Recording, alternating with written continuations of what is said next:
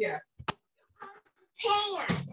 And I want, I want toad. I want to get toad. It's an apple. I want to get toad Oh, over bro, the pay apple. attention to him for just a quick Okay. second. And I want toad over the apple.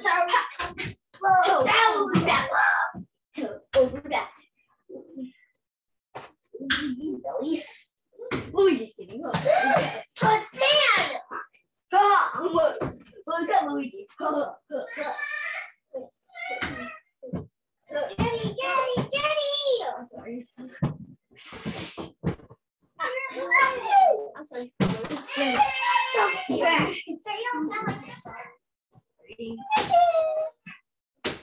There are some. It's nose pins. Yeah, I can make mushrooms. But they stink here. Yeah, I can make mushrooms. Something here. look. Look at his nose pins. See? Bowser took Valdos. What? Martin. Ow. I'm sorry. Are you okay? What did you do this time, Jen? AC, I'm sorry. It's not my favorite. It's outside. Go on upstairs. Is that what you in? Stop arguing, and complaining. Share some grace to each other.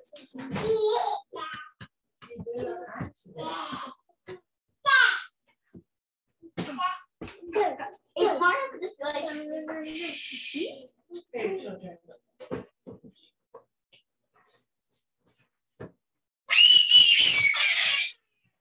Hey. Help? Help. I want help. Help, Mama. Yeah, where's your cup to it? Lily and Jet, help him get the pieces for this. He wants to play this.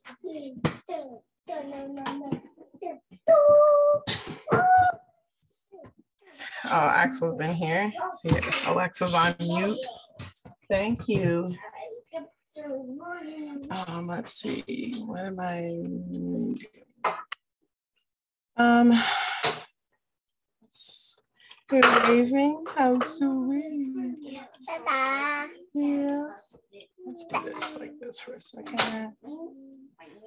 Yeah. And Oh, hello. I know. Good morning. Good morning. Oh, you know what? I need to get my water because if I don't have my water.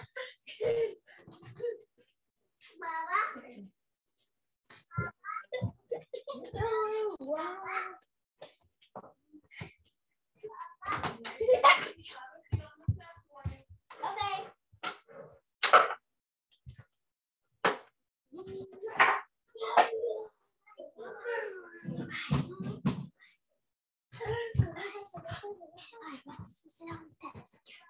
Let's get our minds on Jesus. Let's think about Jesus for a moment. Let's think about him and how good he is, how much he loves you. Right? Yeah, yeah. Mama? How much he's there for you. When you're afraid, who who's always there for you? Jesus. Jesus. Jesus. He always loves you. Does he ever say he he's mad at you? No. He never says that. This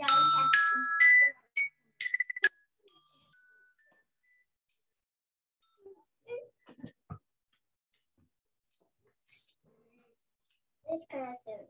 Jesus is love. Who can tell me one thing? Tell me. Uh, Jesus loves and cares. He loves and cares. That's wonderful and true. Jesus is never angry. Well, he does get upset, and he can get angry, but is he angry or upset with you? What else?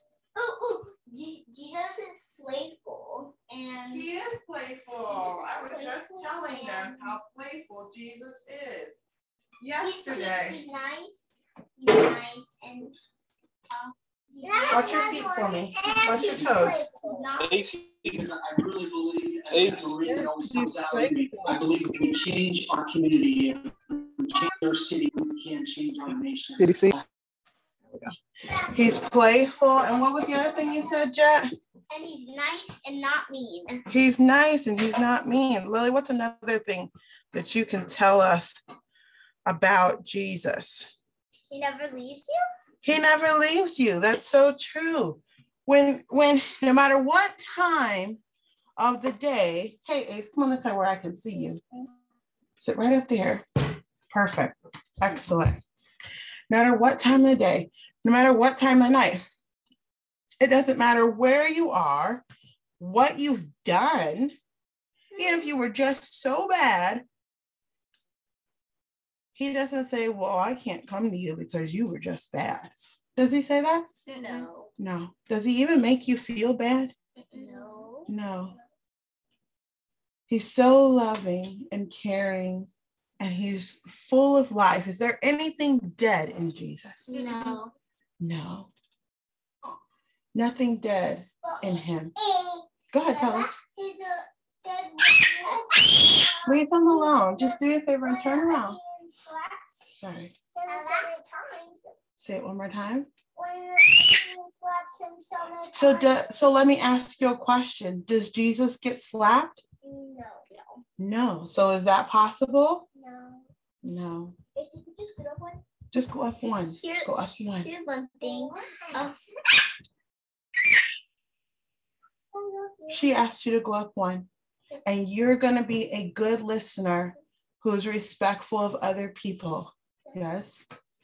Um, and just kids. Jesus does care. Yes, he does. Care. And Jesus is loving and kind. He's loving and kind. Let me ask you a question. Go ahead. He's very handsome and he's very pretty. He's very handsome and pretty. That's true. He is very handsome and pretty.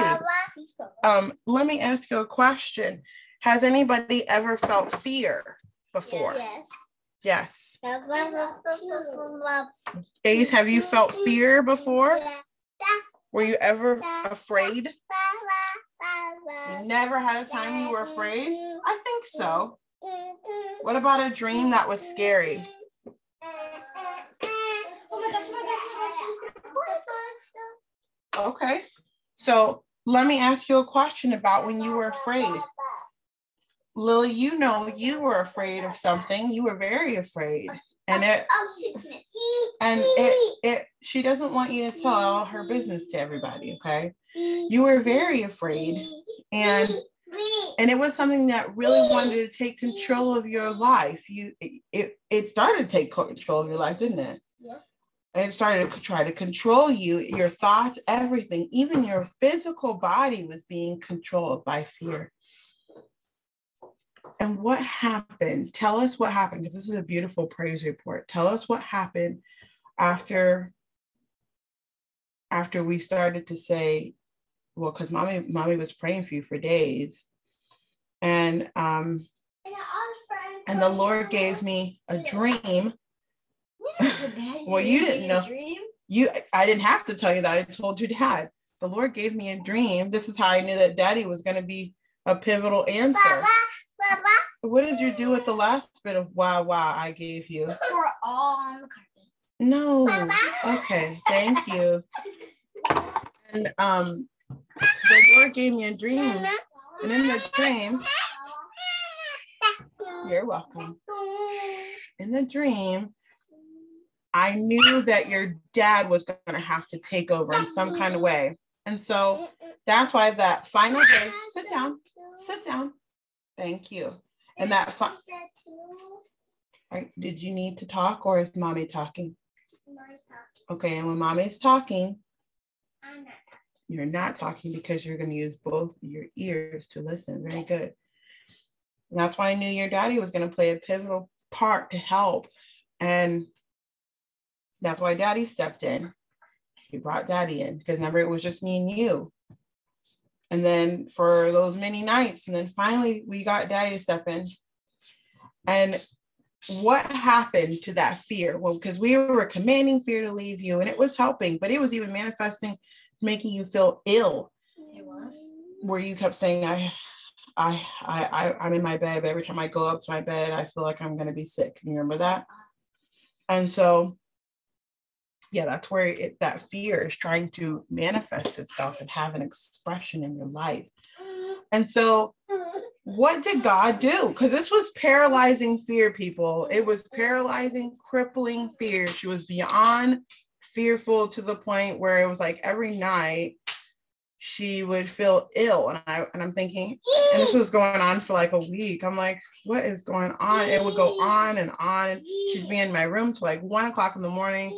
I mean, all the the brakes done come off this vehicle. I'm just like, honey, mommy can't even stay awake. What's what's going on this time? What's wrong? I'm praying and singing over her, and I'm, you know, I'm praying, just asking Lord, what is going on? We're commanding fear to leave, and just all these things. And then we then that final night, I didn't know it was gonna be final night, but it was the worst night of all of them and I said, Josh, I think you it's gonna it's gonna have to be you. There's something he said it was something about what you're gonna do something. I don't know what you're gonna do, but you have to do something. And he's like, I don't understand what's going on. I'm like, so I just quickly gave him a quick rundown, and he's like, okay. And you know, he came in there and God just gave him wisdom. He didn't have to know, you know, all of everything. God just gave him wisdom. And it was in that surrender, my surrender, because I had to surrender because I was doing it. You know, I'm just, it's me, her, and the Lord. And that, that was how it was going. But the Lord's like, I want you to let it go and give it to, give it to Josh. I'm like, what? um, I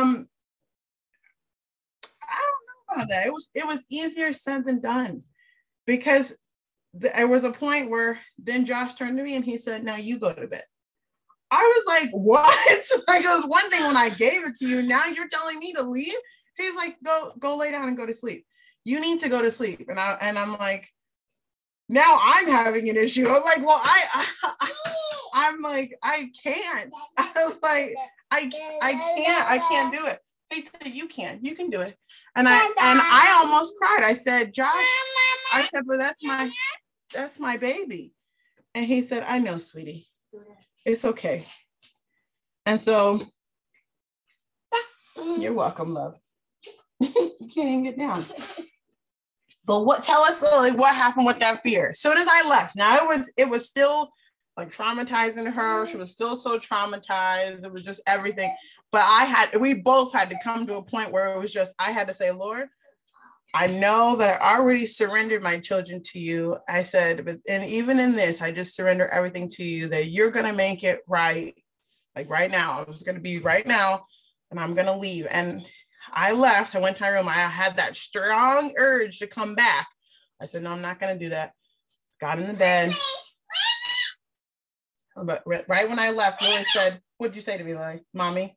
You said, Mommy, you can Mommy, you can leave. you said, Mommy, you can leave because she didn't want to be with with Josh. It was like, oh no, I have to have mom. But she said, Mommy, you can leave. I want you, I want you to leave and I want you to go lay down. So I did that. And in that moment when I let my my head hit the pillow, I had like surmounting fear because fear will come. It was just like it was oppressive. I'm like, it was laying on me like a boulder. And I'm so I, I get in the bed. I said, Lord, I just thank you. Mm-mm. I was like, I just thank you I don't I don't usually go into a whole lot of rebuking. I just say, Lord, I I thank you. I reject that feeling. I'm not going I'm not partnering with it. I get exhausted trying to rebuke every every feeling over and over and over. And I just go right into thanking God. I laid my head down in that moment. It was like there was a burst in the atmosphere that left and everything. And then Josh comes back in way later and I was like, did she finally go to sleep? He was like, oh, she went to sleep a long time ago. He was like, I was just listening to Adventures in Odyssey because they had Adventures in Odyssey playing uh, with Christian uh, radio drama. And he was like, oh, I was just listening to the rest of the... And I'm laughing. I thought, she went to sleep a while ago. Like it was, I just couldn't, I was just like, Lord, I just thank you. I just surrendered to you. Just thank you so much. But, and then she was free from that. And then the next day at night, because it would only come at night. At night, she started to feel it again. What did you do? I told Fair leave me. T- show us how you did it. You can stand up. They're looking. Wait, what was it? What? Just show it. Just say it and tell us. Stand it. It's like when you take the stage to have your your little part and everybody's looking. You're not stage right. Go ahead. oh, right. You're you're teaching it. Okay. Going. And when fear came, I said, Fear, leave me now in Jesus' name. Right, what happened? And it left me. It left you, and then and then it didn't come back again, did it? No. Nope, it never came back again. You drove that fear out and you trusted in the Lord. It was amazing. Yeah. It was absolutely amazing. It was even the, that fear was so bad. At one point, you came into oh. my room and told me you thought you were no longer what? A Christian. She said, I, I don't think I'm, I'm I don't think I'm a Christian anymore, mommy. I said, why in the world would you say that? It was like at one o'clock in the morning. Why would you say that? And she said, because what, what was your reason? Do you remember? All the stuff that I've done bad in past. just yep she's all the stuff i've done bad and being afraid and all that she was like i, I don't think i'm a christian anymore i said that's a, that's a lie from the devil that's from the pit of hell that is a lie he's trying to see he because the entryway was fear and all he wants to do if he can get in there is get a foothold and then you start questioning your own salvation i'm like oh no like, do you really believe that Christian? right yeah you're not a christian because if you were you wouldn't You- feel fear You were dead. right right Just like God. yeah You would be God himself. right, exactly. He's nothing but a, just a twisted liar. And it's like Trying to twist the truth. trying to twist the truth. She He's said copycat. He made his own Bible. he, he does he's he is, he's a copycat. So that was wonderful. Thank you, Lily, for sharing that with us because little screechy baby, hey, don't you fight. but um no matter what you're going through in your life, stop trying to tell Alexa what to do. I command Alexa. um, just a second, babies. Just a second. Hey, look at me. Don't bite. Andrew, you're able to listen all on your own. You're a big boy. You're going to be four years old. No biting. Don't be acting like you didn't just try to bite. I saw you. I expect you to be a good listener while you're sitting here. You understand? Do you know the song? I know you do. Jesus loves the little Yeah, children. yeah. Jesus, that's right. Let's sing Jesus loves the little children. And when we're you can still sing it. We're done, Jesus, yes, Jesus.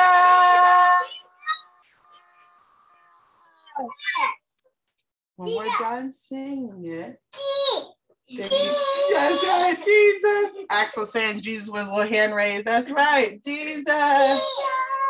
When we get done singing, Jesus loves little children. Then you may, then you may, are you listening? Then you may be dismissed. Okay. Jesus loves the little children, all the children of the world. Red and yellow, black and white, they are precious in his sight. Jesus loves the little children of the world. You're not here for no saying no oh, Gigi. Red, yellow. Red, so Native American, yellow, that's what we would say Asian, black, me, white, daddy. What? But they don't have us. You're a mixture of colors, so you count. Okay. If they went through every mixture, that song would be awfully long. Red and yellow, black and white, mixed in with red and yellow, mixed with red, white, and yellow. It would just be at that point, we forgot what the song was about. It's now a color mix song, but So they just say red and yellow, black and white. They are precious in his sight. Jesus loves the little children of the world. Now, this is the body of Christ.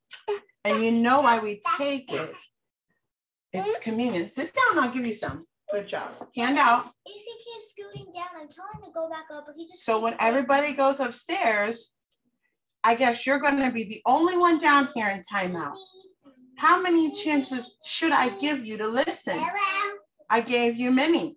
This is the last chance. If you don't follow directions, then you've paid all the money to go right to timeout.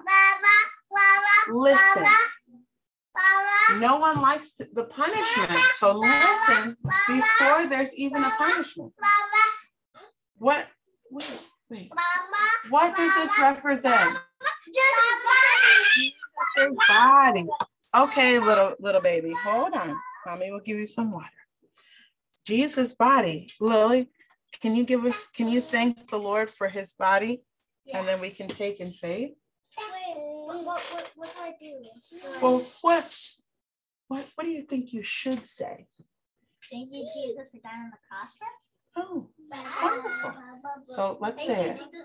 Thank, Thank you, Jesus, for dying on the cross for us and spilling your blood out for us. Yes. And what is that? Yes, there you go. To, which washes away our sin and makes us whole and gives us Does it make the, us new? It makes us new, yes. And it gives us that ability to call on Jesus in those situations when we need him and at any time. He's the so doorway. It so it doesn't matter if you're at the playground. doesn't matter if you're at the playground. It doesn't matter where you are. Jet was afraid on, at the playground on the monkey bars, and he said, "Fear leave me." And we'll was now he's just full on does the monkey bars.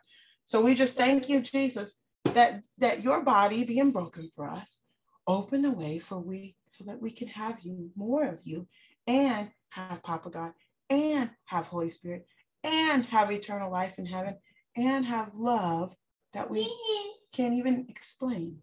So we thank you for it. We break it in faith because his body was broken. Here go. You want this? No.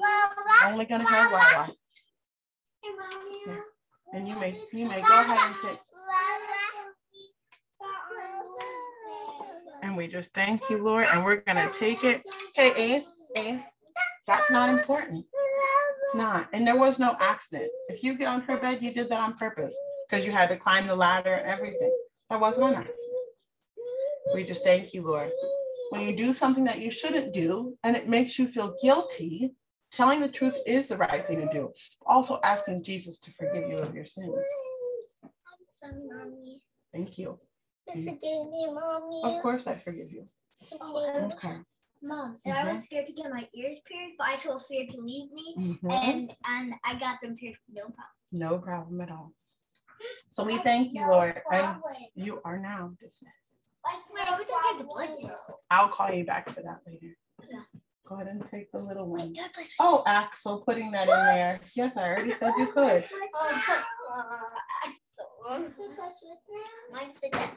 What did I say before him? Yes, yes, yes, yes. Yeah. So go on. Take Mario. No fighting. And Ace, no jumping onto that floor. Or mommy will tell little Alexa here to send Ace downstairs and Ace will go to timeout. Do you understand? What did I say? You said you understand. No, what did I ask you not to do? Not to jump on the floor. So you're going to remember that. And I already respected that. You already respected that. High five. Double high five. Double high five. Take Mario. Thank you. Okay. God is so good. She was absolutely terrified, absolutely terrified uh, of. She had, she went to get her ears pierced, and she read the. It's like it's kind of like the disclaimer of it that says what could happen to you if it became infected. And for whatever reason, that was the little thing that the devil used to terrorize her. She would lay down and be absolutely in petrified fear, like, oh, it's because it's going to become infected, um, you know. And it's like, well, you know, she because it was a little sore the first day, obviously, because she just got it pierced. Um, and I said, it's okay, it's okay that it's a little sore, but she tried to be strong and stuff those feelings and not saying, hey, mom, I'm scared of this. She didn't even tell me that she read the the the thing. I didn't know she did. That girl's got a uh, she's got a high school grade level reading. So it's hard when she gets to reading something and she can understand it. And I'm like, like the like any commercial that gives you side effects, and at the bottom it's got the whole disclaimer, and she can read it like that. I'm like, don't read this stuff. Don't read that time all kind of and at the end it's always in death you know like even though you're not she's not taking it it that produced fear that because the spirit behind it was fear and it tries to come in with that she became so afraid and she was so afraid in herself and she just didn't tell me. She it started off with saying i just don't feel well and so you know i'm just trying to deal with that you're not feeling well. Um and then eventually you know she's like i don't know. I just i just feel like i'm gonna throw up. I don't even i don't know. I don't know. So i'm like okay you know coming against that in jesus name. Singing to her just rubbing her hair. I mean this we're going for hours. I'm like i'm gonna pass out at some point you know? And i'm like you know i think you'll be okay to go to your bed. And each day it got longer and longer and longer. It was like almost a week long ordeal. And it was probably about the third or fourth day i was like there's something else going on here. This is not not natural. Obviously it wasn't natural to begin with um and so you know i'm praying i'm praying. I'm like lord what is this? I'm just asking him inquiring of him. He he always gave me always gave me peace and even though i was still like but what's going on? He always gave me peace and i'm like holy spirit tell me something and I'm and you know, I, later on I'm like, why didn't you just tell me? Because you know what, Lily had a victory to win. That's why. No one's going to be grandfathered in.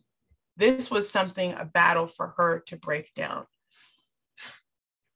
For her to defeat the enemy in her own life, because there is no little Holy Spirit. They get all of Holy Spirit. They don't get a little Holy Spirit or a little. Yes, son. Where is it, honey? It's in that box. Are you able to get it? No. It's not. It might be in my room now. It's not there. Maybe ask your big brother to help you. And um, you know, it's one thing that mommy comes and does it. It's another thing when you can do it on your own. And um it was rough for me. I'm like, Lord, I just want to know what's going on with her. And eventually, it was probably the day right before the la- the last day where she's like, I, you know, she came in there and she's like, I don't think I'm a. Um, she had told me that she didn't think she was a Christian anymore, and it was many things that she told me up until this point. But she was like, she we were staying in the bathroom because she said she felt like she was going to be ill, and um, and she's like, "Mom, I, I, I read the the thing on the thing, and, and it said this, this, this, and da da da." I'm like, "You don't have to be afraid of that, you know." And I, taught, you know, telling her everything I could tell her, and then that was helpful. But then that last day, it was like it came back with vengeance, and it didn't want to let go. It just didn't want to let go of her. And but that night before he the Lord gave me a dream, and I remember in the dream specifically, it was something that I just could not do. I couldn't do it alone, and I was just like, I just I'm like I don't know what what I can do. I just don't get it. And then it was like I just heard a yelling voice, "Get Josh! Get Josh! You gotta go get Josh!" And I was like, "I'll get Josh!" And I turned around and started running, and then I woke up from the dream. I thought, "What is this dream?" And later that night, I'm like, oh, it's got to be this. And so, you know, I'm like, Lord, why didn't, you know, why didn't it make any difference those other times because you know because no one no one can walk you through your through your battle and do it for you someone can be there for you but you got to learn to stand up and fight for yourself. She is very capable of taking the enemy down and she does it very well this day very well. You know they all do they all learn something. Before her learning anything about rejecting fear in this way jet was the first one to have learned it. But then something crazy actually ended up happening. After all that fear was broken and everything the several weeks later her piercings were healed and she could put new earrings in we made sure that they were new earring things or whatever for new ears or newly pierced ears. Thank you, Holy Spirit, for newly pierced ears. And the very that very first day, I cleaned them, and I I cleaned them. I cleaned her ears, and then I put the new ones in. And she went to sleep with those on. She stayed in them all day, went to sleep with those on. And the next morning, she said, "Mom, will you change these out? I want to put something else in." I thought, "Okay, sure." so we can. She brought everything for me to clean it, and I went as soon as I went and I took the earring off. They were both infected white pussy infected and the earring was like stuck to it and i that hit me i was like what and she was like it, it hurts it hurts they were swollen and i was like and then i said the very first thing i said to the lord was this was the very thing she was afraid of. And now here it is. And i was just i said this can't be. I did everything right. This, can't be.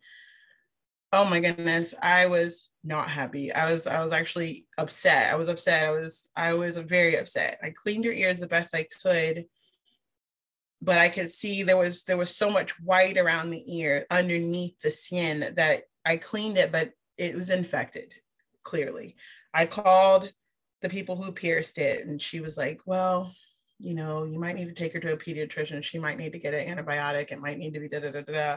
You know, it, we have to you have to treat these things kind of quick because you don't want it to continue on. I'm like, this is insane. Her ears were perfectly fine yesterday, and and I then I went to go tell Josh, and Josh is a, Josh is a, a person who sleeps, and when you wake him up, he's like, uh huh and looking at you, but then you, he just starts snoring. How are you sleep snoring when I'm talking to you still? Huh? Like what? and he's like, I'm sorry, I have to sit up. That'll help me. You know, boy, just go on to sleep. You ain't awake. But so I'm telling him, and he's like, and I'm just, and I'm just, it's just urgent to me. And I'm like, what do you think I should do? Should I take her up to, you know, her doctor? Should I, should I take her up to Ulta? I mean, what, what do you think? And he's just like, I was like, okay, I need to leave because I, I was like, I got to go downstairs. I went downstairs. I said, Jesus, I need you to speak to me right now. I was like, I, you have to talk to me right, like right now. You can't leave it for later. I need to know something right. And in the middle of me saying that, he said, she's okay. She's fine. And I said, what should I do? I said, but I'm angry though. I'm angry at me because I feel like it's obviously it's something I did that was not right. I was like, I'm so angry. And and he's like, it's okay. He said, it's okay. And then he just took that anger and all that sadness or just the, just feeling like I can't even tell. I can, can I should I tell Lily that they're infected? Like this would be a whole nother. Like I don't want to open up that you know that that healing. I don't want to be like here's another scar for you. You know I'm like what am I gonna do? if I'm gonna take her to the doctor, I gotta tell her something, you know. And so he was just like, "It's okay, you don't." He said, "And don't." He said, "She'll be fine." And I said, "Should I take her up to the doctor?" Mm-mm. I said, "Should I take her up to Ulta? He said, "No, they'll say things that will scare her." And he said, "You just do what she said about the Neosporin." So the lady on the phone, she said, well, what you could do in the meantime is you could clean it with alcohol and then put Neosporin on the front and the back and on the ear earring and put it through her ear. And if it doesn't start to clear up, you know, or anything, or you could do that and then take her to the doctor. If it doesn't start to clear up, you can bring her here or take her to the doctor. We can assess it together. You know, I thought, okay, he said, just do that. It'll be fine. He had no urgency. It was like, just do that. It'll be fine. I'm like, I said, okay, I feel great. I mean, I skipped upstairs. I was like, okay, come here, Lily. And I just did all that and it was done. every single day it was like dramatically different dramatically at one point i didn't you couldn't tell when it was in the process of healing you couldn't tell which where was the hole i had to take the earring from the back to the front because there were many holes in the front and so I mean, and I, I, mean, I'm just like, God, he said it's gonna be fine. I was like, so it's gonna be, and I was, and when I was telling, I said, it's, it's gonna look perfect. I was telling him it's gonna look perfect, like it's never, like nothing ever happened to it. And it does. It looks perfect, like nothing ever happened to it. It just, it kept getting just better, better, better, till they're perfect. And there's not one thing. You know what? In the midst of that, she had no fear, none, because the thing that was so scary had no power over her oh but i it, you know it's it's that i'm in the fire but i feel no for, no fire. I don't even smell like smoke. That all that buildup of fear that, that showed fear is a liar. Fear is a liar. All it can do is lie to you. And even when the thing happens if it ever happens doesn't mean it will. A lot of times it doesn't. But if he just so happens to take you through that fire know that you're not going to be you're not going to be burned. You're not going to be singed. You're not going to feel fear. It didn't say when they were thrown into the furnace that they felt fearful. Empowered. And I'm just like, wow. I said, all I could say was, Lord, I'm so thankful. I'm so thankful for you. I'm so thankful for all that you have done and what you've shown her because I can't have the faith for her. She has to have the faith for herself because that's what's going to carry her. And oh my goodness, so, so, so, so, so beautiful. So beautiful. What he what he will do if we just surrender to him. I wanted to show this again, because I know you've probably already seen it, but it goes along with what we are going to read and this is something that I wrote for Jesus. And it just says, oh, I made it for him. It just says, Jesus, without your presence, I shrivel and die. Oh, but your loving mercy pours into me, and I flourish beside your nourishing water and life giving breath. To know him in this way has changed my life, has changed my life it wasn't enough for him to just be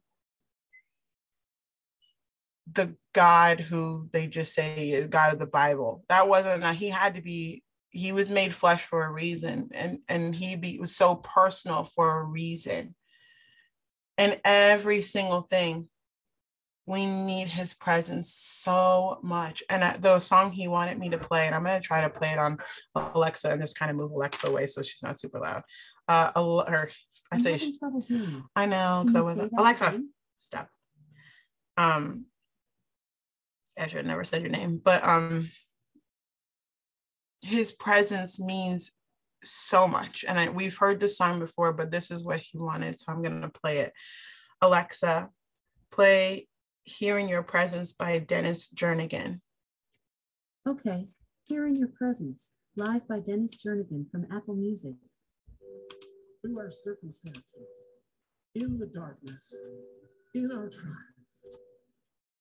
If he was not here, I would not have been here. How about you? I don't know if you can hear it. We need his presence, and he is here. In your presence, I find mercy. In your presence, I find your grace in your presence. There's no hurry in your presence. I see your face here in your presence. Father, pour out your mercy here in your presence. Lord, pour out your grace.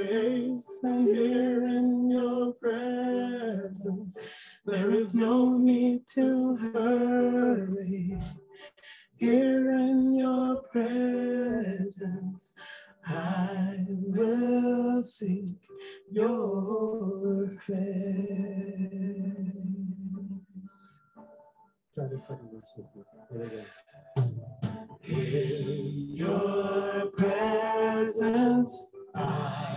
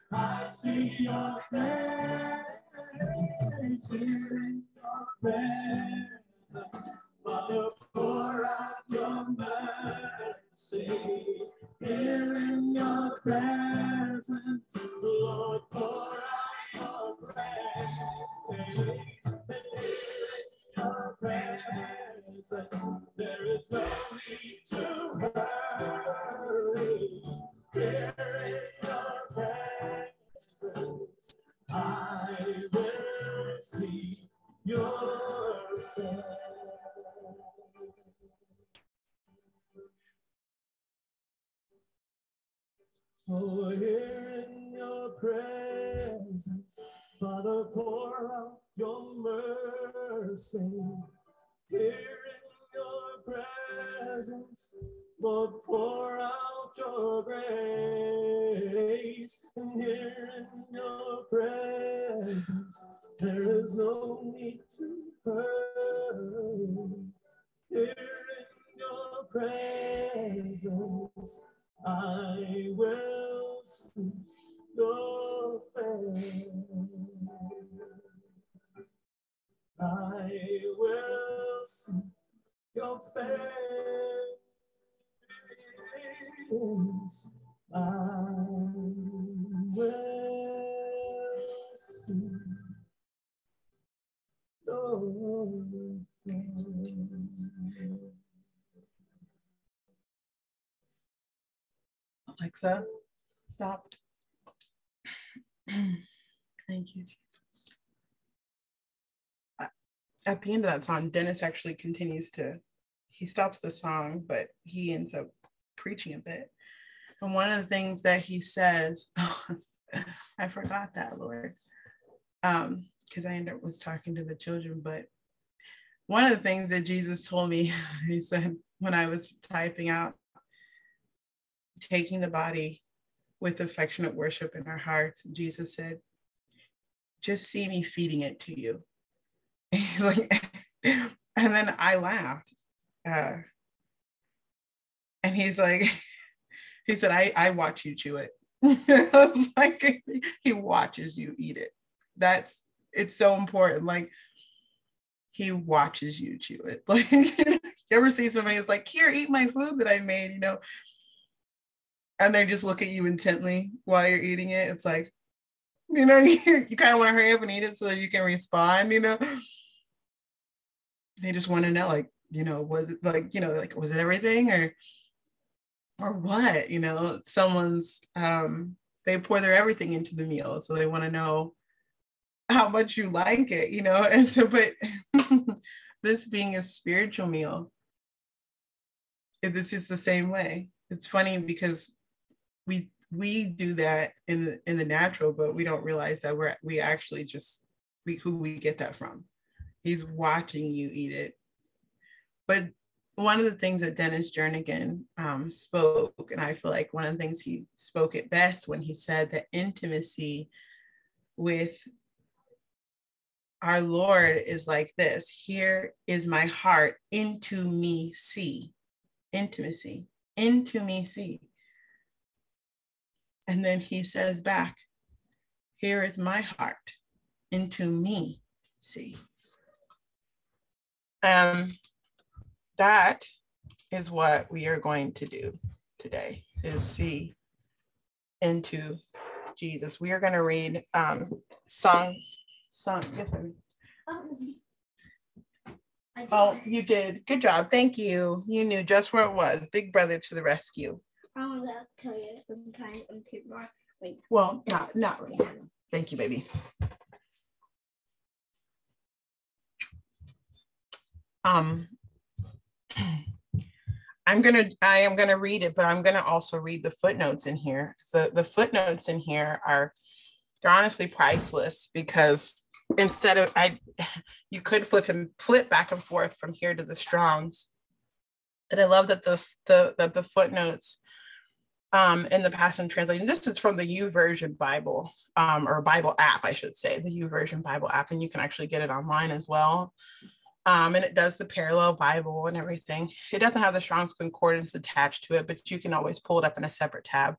But one of the things that's really nice about the Passion Translation is that the guy, something Simmons, Brian or Brandon Simmons, um, he incorporated a lot of that in the notes of it. So um, that is what I'm gonna read from here and I'm gonna do the notes too. So let me go like this. Okay.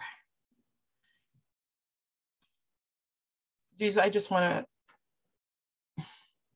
I just thank you that you're here. I thank your presence is so strong. Your fire is so strong. Papa, we just thank you. I I I I know that you meet us here. I just thank you. I thank you. I thank you. I thank you for the opportunity to enter in with you.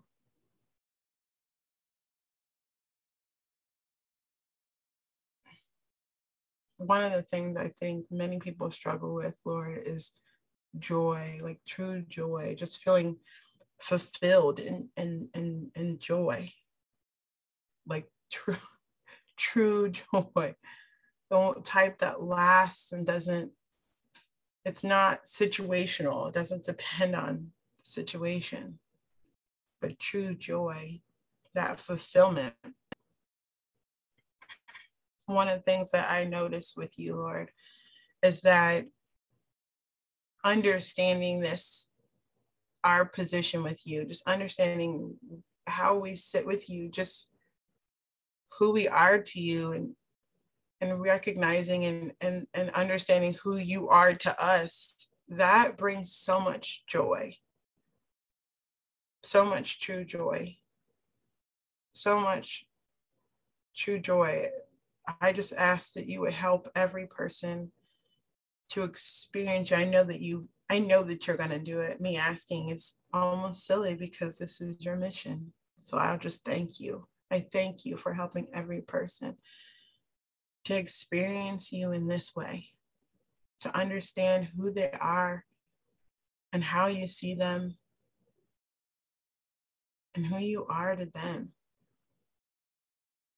Understand, because yes, it, it, we've lived an incomplete life. We've only always seemed to have known the natural side of us, but there's two parts of us, well, three. But the one the most important that it makes us like you is our spirit. We are a spirit who has a soul, it lives in a body. But the body is the number one thing that's talked about, period. The soul is just barely being touched on, and the spirit is left out.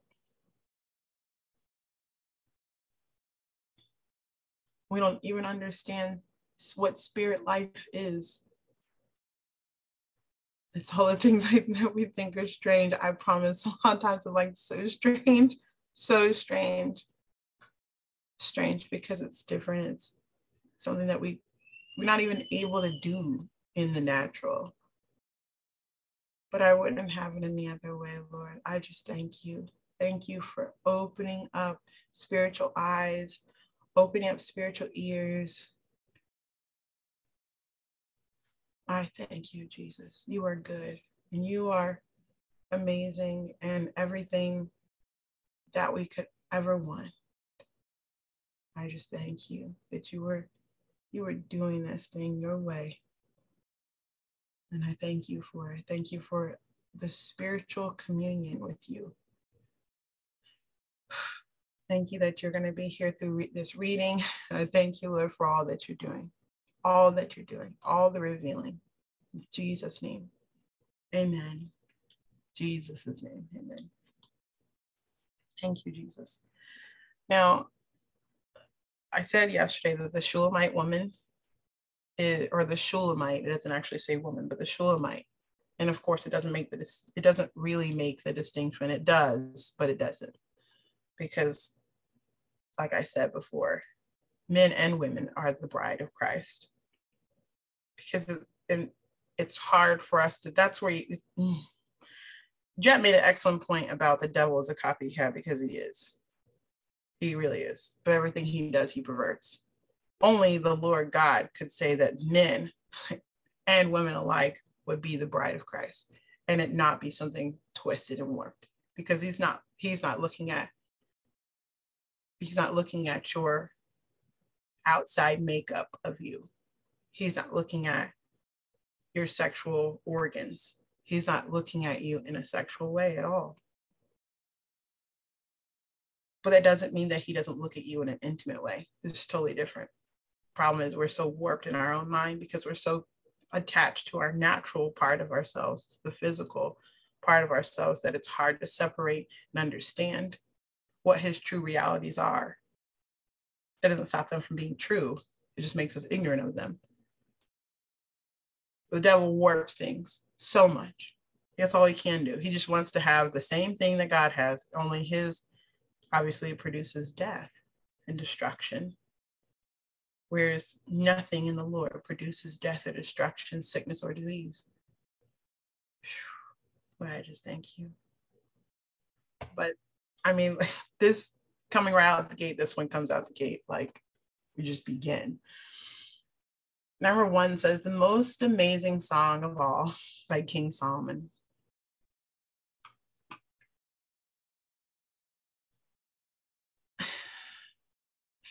I, okay, so the very first footnote on here is for the Shulamite. And it says the word for Shulamite and the word for Solomon are taken from the are taken from the same Hebrew root word. One is masculine, the other feminine.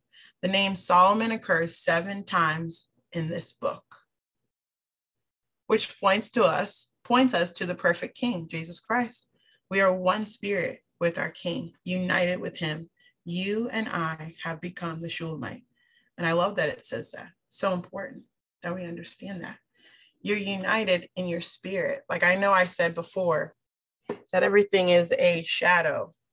Um, a shadow. I mean, we think about if there, what was the one thing Holy Spirit told me?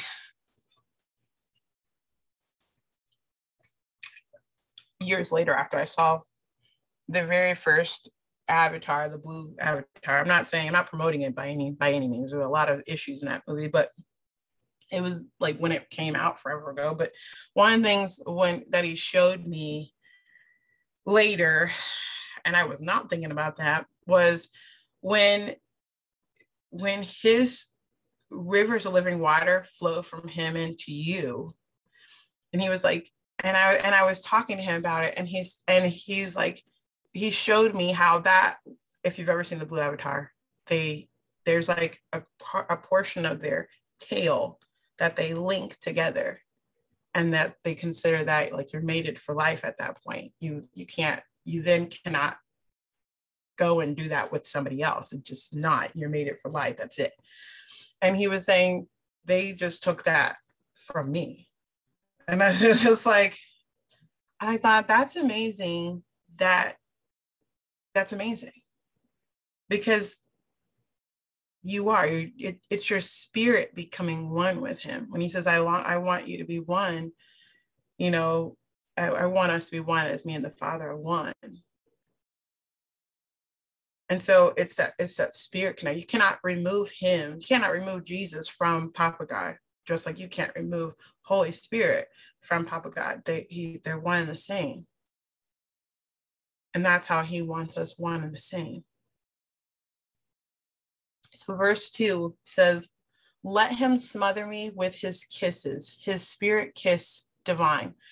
Yesterday, oh my gosh. So, last, oh my gosh. So, last night, um, something so strange happened, and I was like, What? I said, Lord, I'm, I'm, my, my mind is baffled to the point where I don't know what to think. I just feel like I don't even, I don't even, I just don't know. I'm lost for words. But then I, at the same time, I need to ask you 100 questions. And I was like, because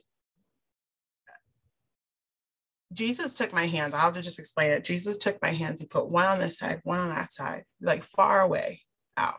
And then he put his hands on it on my hands, his face on my face. And and we were just like together like that. And I'm like, I'm just don't know. Like I was like, I just don't know. And I was like, and please don't ever ask me to explain this to anybody, which obviously I'm doing it right now. But I was like, I'm so I just don't know. Like I was like, I don't know what to even think about. Like I can't have a thought. And before that, he took my skin off of my body, which was interesting. He just unzipped it. And I was glowing. Like that's your spirit. And then he just put his hands on my hands. And it's just like his face on my face, eyes on my eyes, his nose on my nose, his mouth on my mouth, chin on chin. We were chest to chest. I'm like, I just don't know. And he and he said later, I said, just explain it to me. I just put it in put it in a layman's term that I can even just have a, a just something that I can hold on to that I just need to know. And he was like, he said, he of course didn't just come out and just tell me right away because it just cracks me up. But he said, How do you think? Let me see, how did what did he say? He said, Okay, you didn't say the name, but he said, How do you he just basically said, How do you think he knew to do that? Is what he said to me. And I was, and I knew what he meant. He was talking about in the Old Testament when Elijah put his face to face to that child and I was like, Uh, mom, I had that so many times about the cocoon thing, uh, unzipping the skin. I know. I was like, that reminded me of that movie, which I don't know much about that movie. I don't know if anybody's ever seen the movie Cocoon. When they, she said that's exactly where they got the idea for the movie Cocoon. They unzipped their skin and they were spirit light beings. Yeah, and they were like in the pool of water or something like that, right, Mom? I don't remember. I don't really re- recall the movie, but I promise that's exactly what I thought. I was like, that reminds me. It's oddly familiar of that movie with those old people that I remember, but I don't remember what it's about. Probably saw it when I was a child, but but yes, and and and he and so he said, where do you think he got the idea? As is what he said to me, and I thought, and I had to think for a second in myself, and Holy Spirit was like, it brings life. And later I'm like, it brings life. And I just kept pondering that. And as this morning I was walking Axel up and down the street on the sidewalk in his stroller because he wanted to go outside. And I'm just talking to Jesus and and just just talking to him about everything. And when I and I said, I don't know where you want me to read at, you know, and I don't know. He didn't tell me then either. He didn't tell me until like 10 minutes before we're getting ready to go on. And he told me that it's going to be the first one. So I said, okay. And right here under the second, uh, the second verse, I thought, I'm reading, I'm reading, I'm like, I said, see, it says his spirit kissed divine. Cause that, I'm like, it's like you're, cause that's what it was like. In here, when you read the footnote, which made it even better, I was like, it made it even better. Um, so the footnote, there's two of them. So the first one says to enter the doorway of Jesus's heart, we must begin by saying, let him. We only begin, or we only bring him a yielded heart and must let him do the rest. God's loving grace means that he will be enough for us. We can let him be everything to us, and we don't begin by doing, but by yielding. So that was very first. And he stood in front of me. I wasn't like, hey, let's go here and let's go do that. He just took my hand and put it there, and then took the other one and put it there. And then he just came very close. I'm just like, whoa. But the footnote for this the spirit kiss is what made Adam. I was just blown like, that is exactly what you were saying. The man of clay into a living expression of God. Dust and deity met when the master kissed his spirit wind into Adam. The word of God is like a kiss from the mouth of our beloved, breathing upon us the revelation of his love. Well, the word of God is Jesus. is like a kiss from the mouth of our beloved. It says the Shulamite doesn't ask him for power, position, or promotion, but for a kiss. Intimacy with Jesus Christ is more important than anything else he can give us. I mean, we could just live on that right there. Like we can just like we can just say the end right now and just and then that'd be great. So it says, So kind are your caresses. I drink them like the sweetest wine. So that's verse two. It says the word play here in the Hebrew similar is similar to a pun. The word for kisses and the word for take a drink of wine is nearly the same. The implication, as seen by ancient uh, expo, um, what is this word? Expose expositors. So that looks about right to me. Is that God's lovers will be drunk with love, the intoxicating kisses of his mouth. The Hebrew word for kiss, and I'm about to tear this word up, is nasha. Um, it's messed up. N A S H A Q. That's a Hebrew word. I don't know how to say it. Say it again. Somebody. Nobody. Nahash. There you go. Whoop, whoop, mama. Which can also mean to equipped or to arm for battle. We need his kisses to become equipped warriors for him. It's just amazing. And also is mind bending. Verse three, your presence releases a fragrance so pleasing over and over poured out. For your name, or for your lovely name is flowing oil. No wonder the brides to be adore you. I love that. Love, love, love that.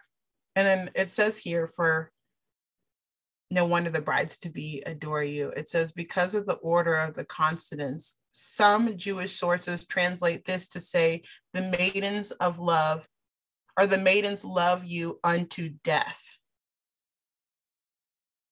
draw draw me into your heart we will run away together into the king's cloud filled chamber. That's that's that's that holies of holies the cloud filled chamber filled with his glory.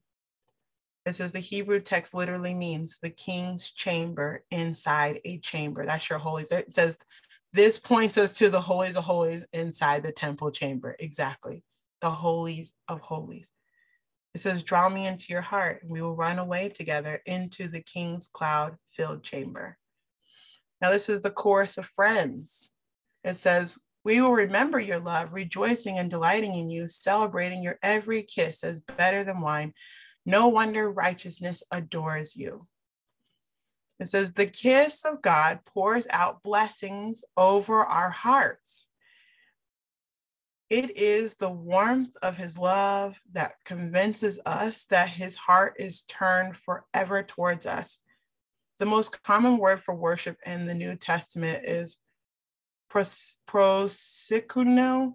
I don't know. Sorry. P R O S K U N E O. That's the Hebrew word, which means to fall on your knees before him, to kiss him. Our worship with deep affection is his reward. That is his reward. That's what he wants. So the Shulamite says, Jerusalem maidens, In this twilight darkness, I am so unworthy, so in need. It says here, the twilight darkness can also be translated as black. The Hebrew word or Hebrew root word used here for black or dark means twilight darkness or morning gray. So she's saying, like, I I know I am so unworthy and so in need. You know, we're not sitting here saying, I just, I deserve all this. I deserve, we don't deserve it. We don't. And we know that, you know, a lot of times we can be a hot mess. We know that. But then the shepherd king comes back and says, Yet you are so lovely. And she says, the Shulamite, I feel as dark and dry as the desert tents of the wandering nomads. The note here says, literally dark as the tent curtains of Kedar. So there is a word play in the Hebrew, as the word Kedar means a dark, a dark one or a dark place. This was the name of the one, this was the name of one of the sons of Ishmael and represents our old Adam life. And the shepherd king responds, Yet you are so lovely, like the fine linen tapestry hanging in the holy place. The Shulamite and her friends begin talking. They say this. She says, Please don't stare in scorn because of my dark and sinful ways. Obviously, it says, Or many morning suns have darkened, stared at me.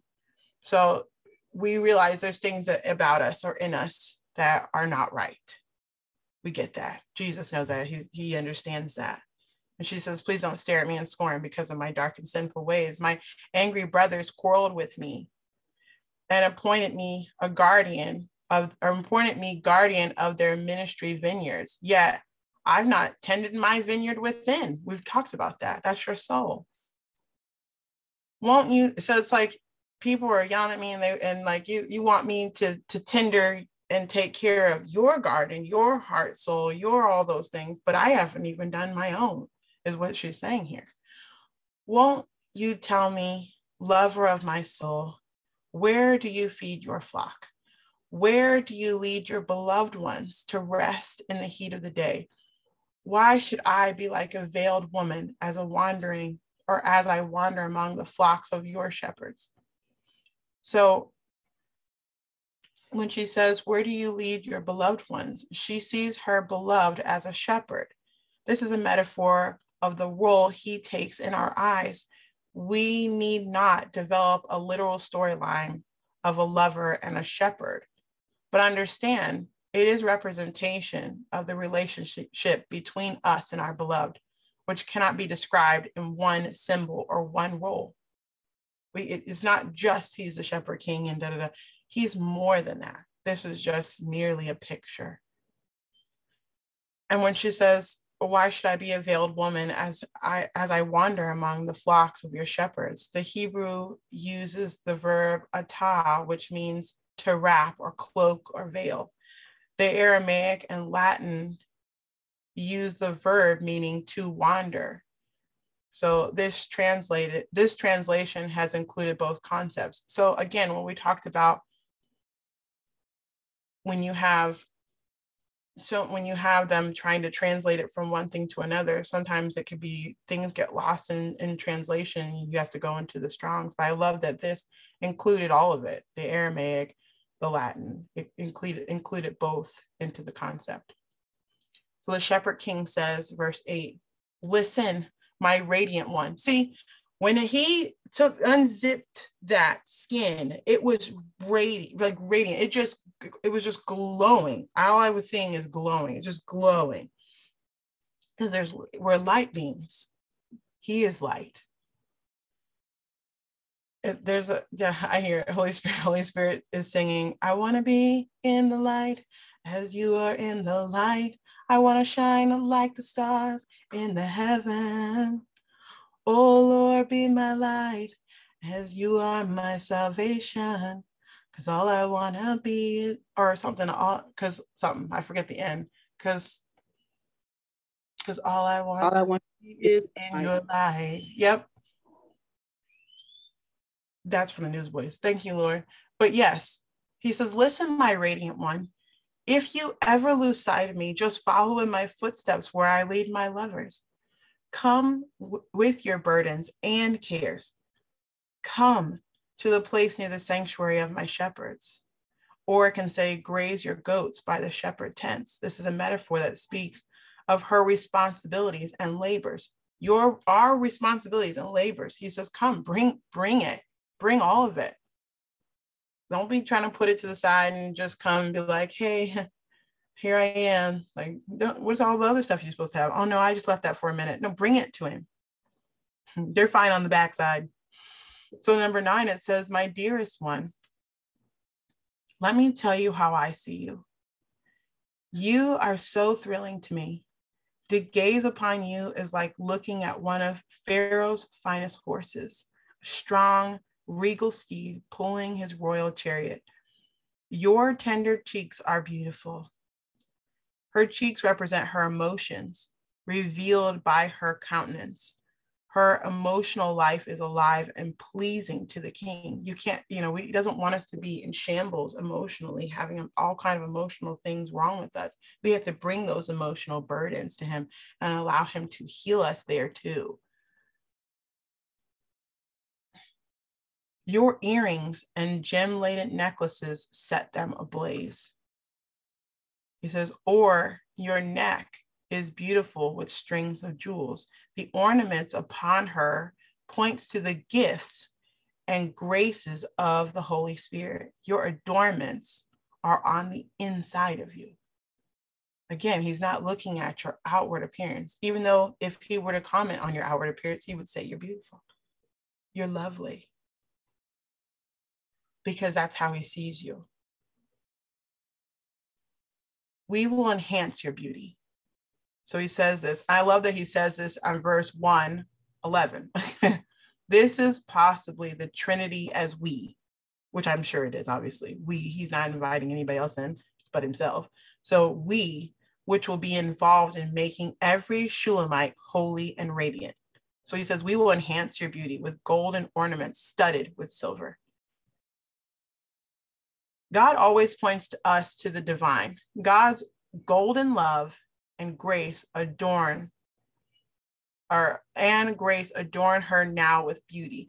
The concept of silver in the Bible always points to redemption.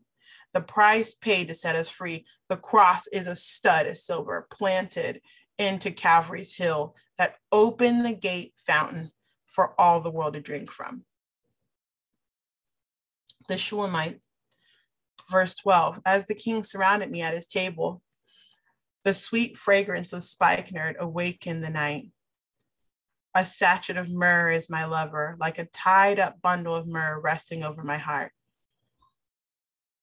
And it says this tied up bundle of myrrh is an incredible picture of the cross.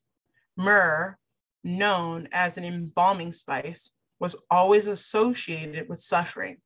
The suffering love of Jesus would be over the Shulamite's heart for the rest of her days. We have the revelation of our beloved tied onto the cross like a bundle of myrrh. Verse 14 He is like a bouquet of henna blossoms, henna plucked near the vines at the fountain of the Lamb, or at Engandi, Engandi, or Enganidi, might be saying that even better that way, means the fountain. Say it again. Engedi. In Getty. Thank you. I had my uh, my my jukebox and my translator. Thank you. the fountain of the lamb. The Hebrew word henna has a homonym that can mean atonement or redeeming grace. I will hold him and never let him part. And Shepherd King on 15 says, My darling, you are so lovely. You are beauty itself to me. Mom, we're going to have another one here for you to say. the Hebrew word for beautiful is, I probably know this, yapa. She's like crickets now. I'm sorry, I was trying to help Vicky. She's trying to get in. okay. Is it yapa, Mom? Yay. What verse are you on? What verse are you on? Uh, 15. Yay pay? Your guess is good as mine. okay, we'll go with that. the Hebrew word for beautiful, pay, is used five times to describe the Shulamite, and three times she is called Heyepe.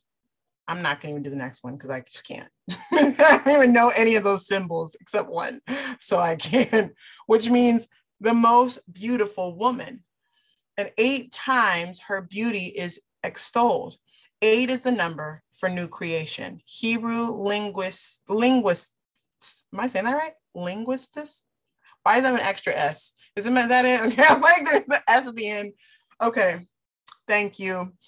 Link this word for beauty, which means to radiate, to burst forth, or to emerge from darkness, to project beauty.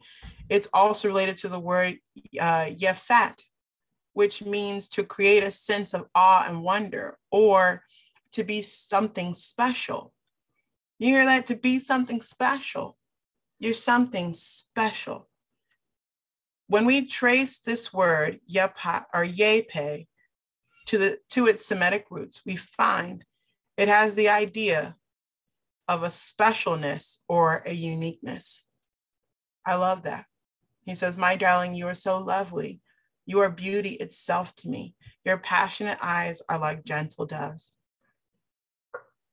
The Hebrew text literally means your eyes are doves. Some see this as a a hippo hippocorism. I don't even know what that means, but the dove points us to the Holy Spirit. She is commended for seeing him with spiritual revelation as she perceives the glory of the cross with its myrrh. The Shulamite, my beloved one, both handsome and winsome, you are pleasing beyond words our resting place is anointed and flourishing. Like a, like a green forest meadow bathed in light, rafters of cedar branches are over our heads, and the balconies of pleasant smelling pines. Oh. It says, the, the footnote for 17, it says, or cypress, cedar and cypress, which are the most common which were the most two I'm sorry, let me say it again. Where where the two most common woods used in construction on Solomon's temple? Obviously, it was easy for me to say, but that ends us on song a song, the first chapter. There's so much to take in, but remember that we, I mean, read it as many times as we want to read as many times as you want to. But remember the takeaways. The importance is thank you, Holy Spirit. Thank you. Yes, yes, yes, yes, yes. Yes. The important thing, the some of the main takeaways here, not forcing God, forcing Jesus, or trying to beg him onto the scene, Oh, thank you. Let's let's look up that word. Oh, look at the look at how you say that.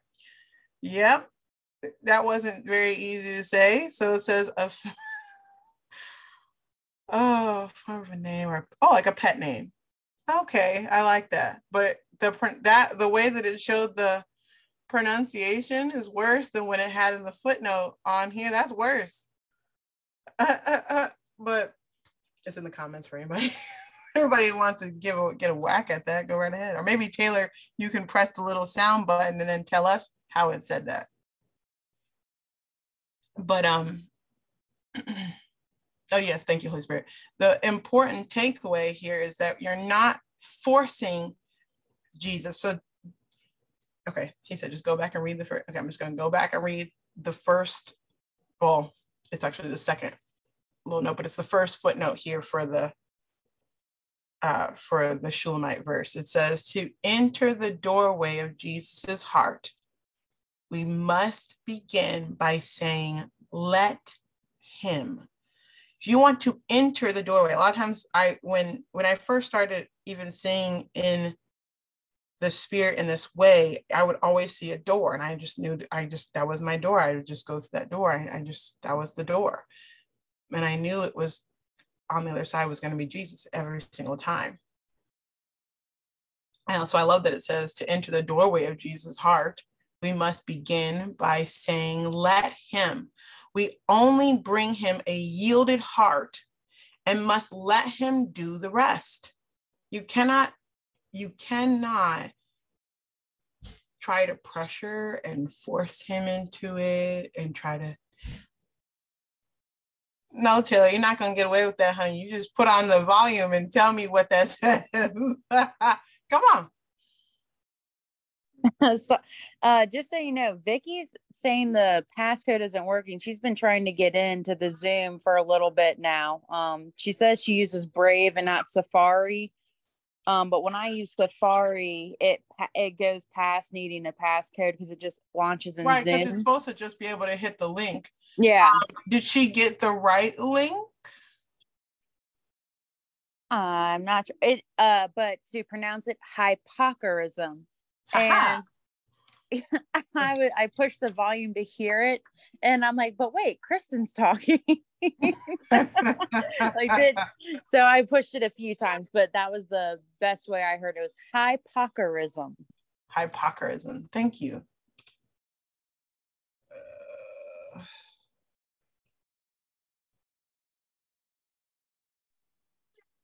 I don't know if anyone else uses anyone else uses Brave to um when you send out the Zoom links, but that's what she's having trouble using. Okay, so she's saying that the password is what she's having an issue with. She might not be putting something in properly. Let me see. Oops. Well, um, yeah, there we go.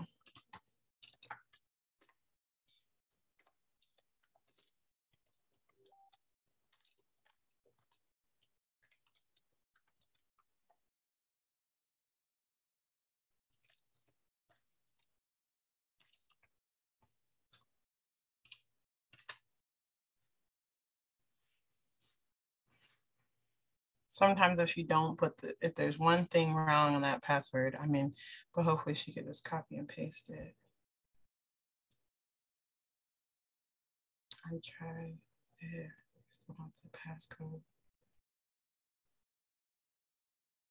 Yeah she could just enter through zoom um, which actually reminds me that there's a way if you happen to have the zoom app that it lets you, um, okay, well, let me, it lets you uh, like link up as far as a friend on there or contact. Thank you, Elizabeth. It lets you become a contact on here and you just, and then it just lets you press the, when you see the, um, what is the Holy Spirit? Because I just, I'm drawing a blank now. Yes, when you see the event, it'll show you like the events for the bell tower. You can just click on them and they will just open up. You won't actually have to do um, anything else. So it does have that option. I don't know. Try to do. Uh, I don't want to. Or, or about at the end, so it will have the replay. I'm sorry, Vicky. Um, I try to turn off the Facebook thing on here because it goes ba-ding, ba-ding, you know, so I try to exit out of it. But um, yeah, it's fine. But yes, uh, that's what I was gonna say. Thank you, Holy Spirit. Let me get it really quick. No, not you, not you, you. And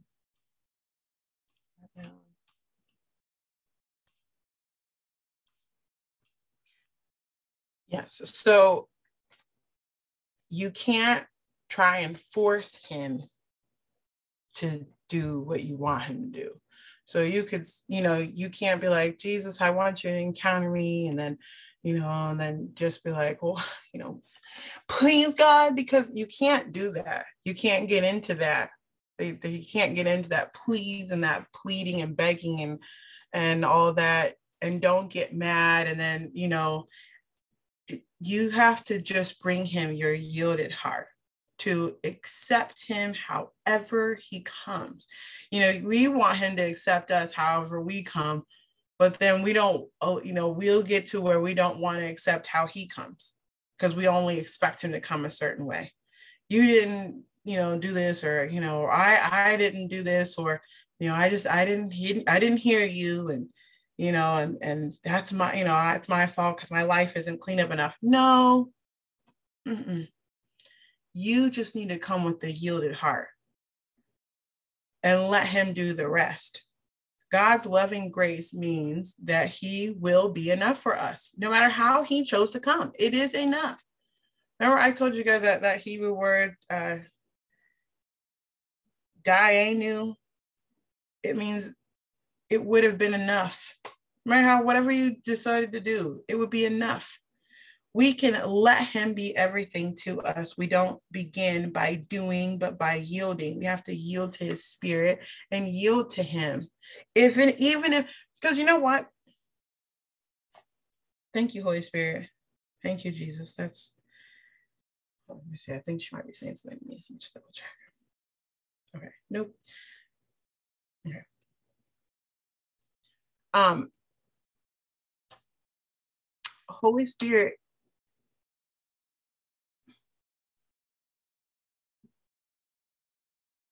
Mm-hmm.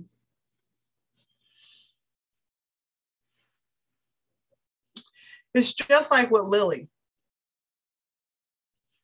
He could have easily just had something happen the first day. She could have just been set free and everything the first day, but it went on for like a week. You know, some sometimes there because of that that journey or that process, especially in some of our lives, there's some fleshing out that has to happen. Like like when it says that your love is tried, you got tried by fire. You say that you love him and you're devoted to him, but if he doesn't come up by day two and show the way that everybody else said he showed up, now you now you're mad and it's just like, well, I don't know, it's just not for me, or you or you go into depression instead of staying on him and just say, I just thank you. Uh, in faith, I'm here in faith, I know you're here, whether I see you, feel you, smell you, or not. And that that little that little bit, you're breaking chains off of yourself because have you ever started to do something and then it was all great and it would you, yeah like a like a like a fast or something you're like i'm gonna go and do that it's all great but by like day three that same energy is not there and you're ready to just give that up. Like, well, I know I said four days, but Lord, it was three. And at 12 o'clock midnight, I know I'm going downstairs, Jesus. You can come with me or I'll come back up and see you. You know, where, that's all we're looking at is that end product. You forgot all about you. You're supposed to be spending time in the word. You like it. Look at the clock. Mm-hmm. Five more minutes, Jesus. You know, I already have the sandwich made, Lord. it's just waiting in the kitchen. Woo-hoo, you know, and Jesus is like a mess, you know, just you know, just a mess. A lot of times we get so focused on that end product. I just want the end product. I just, I'm just gonna see Jesus. I'm gonna go to heaven. I have my whole list, what's gonna happen, and then at the same time be like, but you can do whatever you want, Jesus. And then when he doesn't fulfill the thing you wanted because you're not ready for that, you're not ready for that. You're not fully surrendered. You're not fully yielded yet. That's okay. It's not a punishment. He's working something in you. He's got to work things in you so that you can hold and carry, hold and carry what he has. You know, the point of getting your vessel ready, you're getting that vessel ready. I don't care how long it takes. You just make that commitment. Jesus, I don't care how long it is. I don't care how long it takes. I'm gonna be here every day at this time, or I'm gonna I'm gonna be meet with you every single day, even if it's more than one time a day. And you know, you can just do whatever you want. Tell me whatever you want.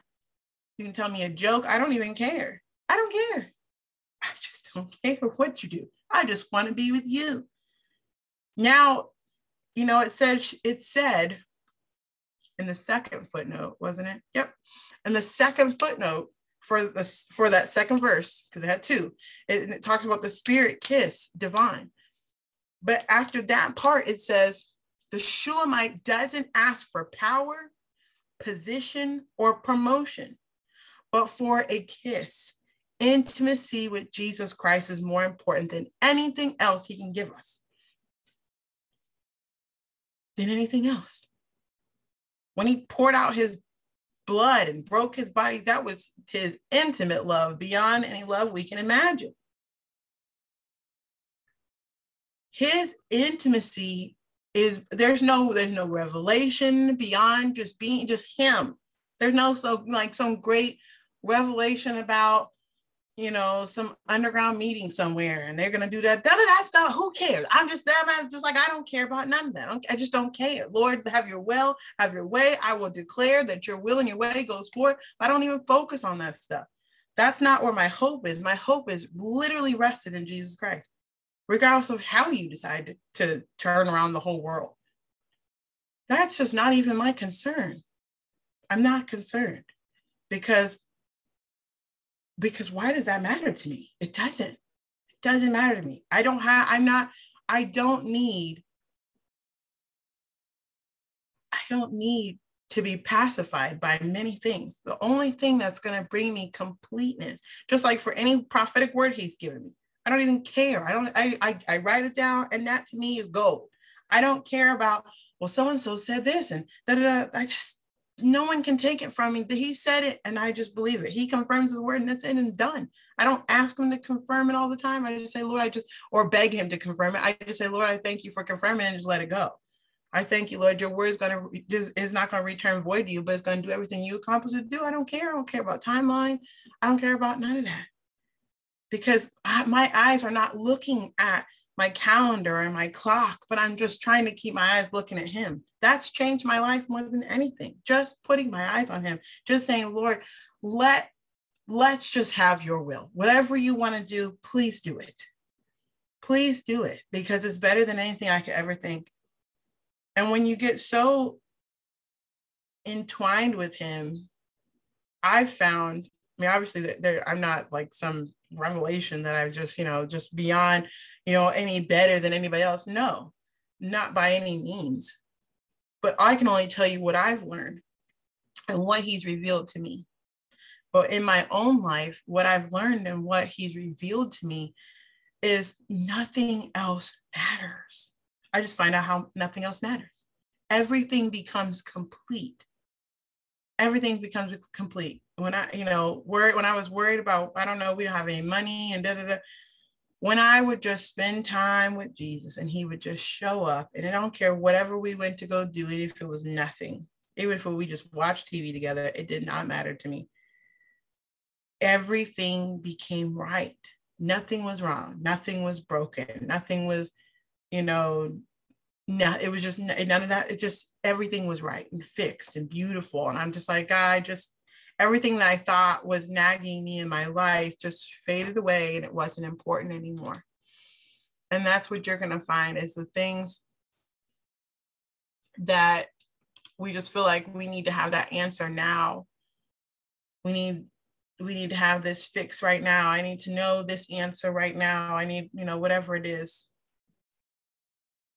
You you're gonna you're thank you, Holy Spirit. Number one, you're gonna build resolve, which is important we need to have we need to have a, a strong resolve what we're going to do. We say we're gonna wait for him. How long are you gonna wait for him? You really say, Lord, I love you. I'm gonna wait for you until you decide to speak to me, da, da, da, but I will always be here. And I'm not gonna be here crying and and on the floor and feeling worthless, but I'm gonna be here praising you. there that song, this one song that I love by um that uh, mm, thank you, Lord. What did you say it again? Schaefer, is it Rachel? Um, from Oasis uh, with Tim Sheets, his daughter, the one that she sings, um, You'll Find Me Worshiping. I love that song. Love that song. I'll be the one giving glory declaring your goodness and glory. Lord, you are the one and the only worthy of our worship. Find me in your presence. Find me on my knees. I won't stop singing your praises. You'll find me worshiping. The point you'll find, she's talking to Lord. This is how you're going to find me. You're going to find me in your presence. You're going to find me worshiping you. You're going to find me declaring your goodness and your mercy, declaring your glory. That's how you're going to find me. I'll be the one. I'll be the one giving you glory and declaring your goodness and your mercy. That's who I'm going to be. You just need to, you have to make up your mind. Who are you going to be? Are you going to be the baby who needs to be pacified every single time? That doesn't mean can less love you, but you are less, you, you can't be trusted with much. And that's just, that is honestly a biblical truth. If he gives you much, then you, you have a lot of responsibility. You can't be responsible, but also want to be take a baby stance and and break and cry when things don't happen the way you want them to happen. You got to build up those walls strong because he sees you strong. You got to make up your mind I'm not going to break. Yeah, uh, thank you, Holy Spirit. Holy Spirit reminded me again on that song by Disciple, Dear X, where he says, you know, go ahead. You know, you can you can put a target on my forehead, you can fire, but you got no bullets. Where he says, you can bend, but you're never going to break me. Those feelings and stuff may come, but they don't have to break me and I don't have to go into that whole cycle of depression or or anger or or whatever it is, lust or greed. I don't they might come tempting. You know, tempt he says you tempted me to look back. You tempted me to look back. But everything that we had together was a lie. We got to remember that. Everything that we had together was a lie. You ain't nothing but a liar. Devil, I don't want anything to do with you. These feelings, those emotions, all of those things. Remember, he's looking to see your emotions pure and beautiful, not crumbled into ash. It can't, if it if it is, bring it to him and let him fix it, and then have your resolve to keep it that way because he can't make you do what you're supposed to do. You have to put those things off. You have to. You're strong enough. Remember, he said that Lord has the one of the things he had me read was you cannot be tempted beyond your ability to say no. Be tempted to be angry, tempted to be sad, tempted to be lustful, tempted to be jealous, tempted to be uh, like a, to covet. I mean, whatever. we're you know what I want? I'm in closing. I want when Jesus looks at me to find his fruit in his garden. I'm his garden. You are his garden. I don't want him to show up and I literally have trees that are just all my trees are immature and they don't produce fruit yet. Or what do I have to give him? A promise only at that point, a promise that when you come back next time, there's going to be something here. I don't want an immature tree. I want trees that are mature, that the canopy of the tree, you can sit under it. As when you, know, you get sit next to an immature tree, it's just a, a juvenile tree, you're sitting next to it, and it barely can shade you because it just doesn't have the leaves for that yet. It's just not there yet. Sometimes in, in certain areas of our life, we're just not there yet, and that's okay. We keep watering it. You keep tending to it. It's important. You can't be like, well, I didn't water it for several days and then come back and just expect to have some exuberant growth. You have to water it and prune it and all those things. So important. But I don't want to ever have Jesus walk into his garden and notice that there's just no fruit there. Yesterday I read, he said there were nine fruits. I want those fruits to be ever present. I want there to be orchards of those, not just one of each kind, but an orchard, many different kinds. I want to be able to say, here, relax underneath the shade of these trees, put out a blanket, and let me feed you for once. Here, look, let me let me feed you your own fruits growing right here. And when you can do that, he then is going to say, now I want you to share these fruits with, with the others.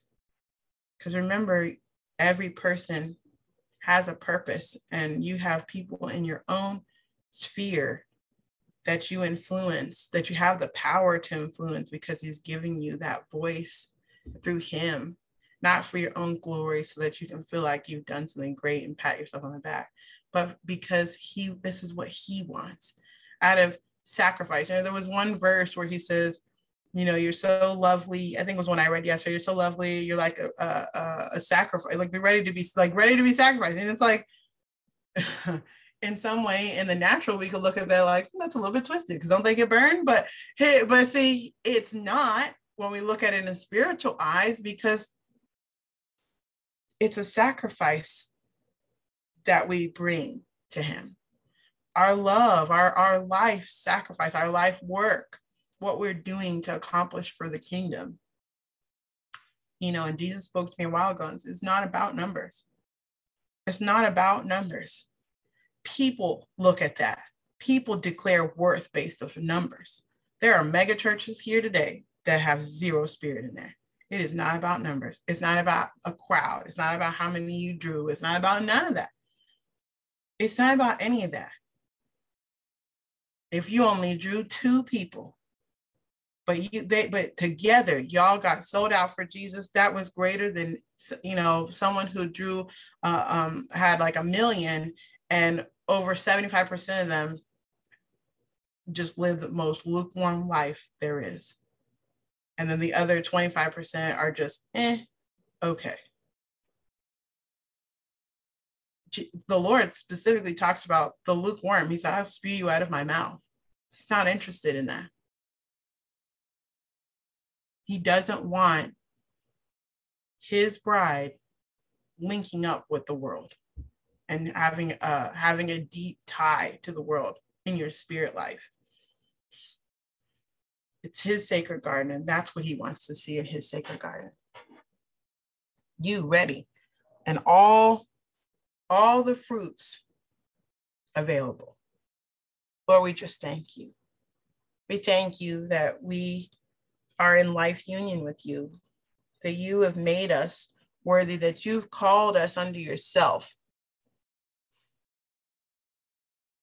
that we,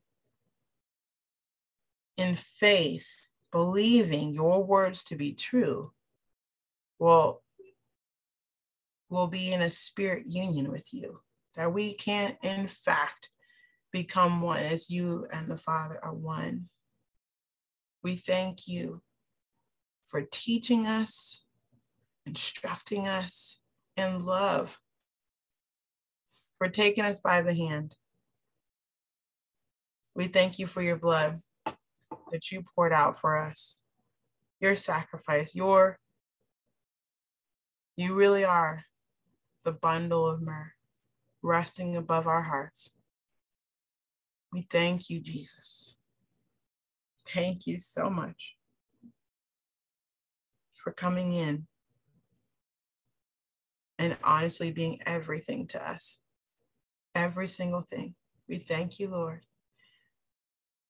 We affectionately take in faith, thanking you, knowing that this, this cup puts us in communion with you. It heals us, it delivers us, it sets us free, it brings us everything that we need because it is you. It's the very essence of who you are. We take this in faith and in thanksgiving. Thank you, Jesus. Hallelujah. Thank you, Lord. Thank you, Lord. Thank you. That's all I have. The Lord is good always. He's awesome. He's amazing. so refreshing. He's such a refreshing spirit. Um, full of fire. If anybody has any questions or anything, you can um, always message me or you can ask in the group. It doesn't matter, however you feel comfortable. The Lord is so good. Mm-mm-mm. But that is all I have. I'm either going to fall over or it's hard to like open my eyes, but that's all I have. His presence is so beautiful. I just extend his peace to each of you, love and mercy. Hallelujah, Jesus. Mm-mm-mm. Hallelujah.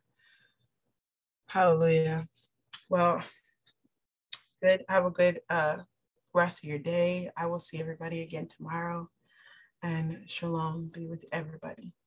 Peace and shalom.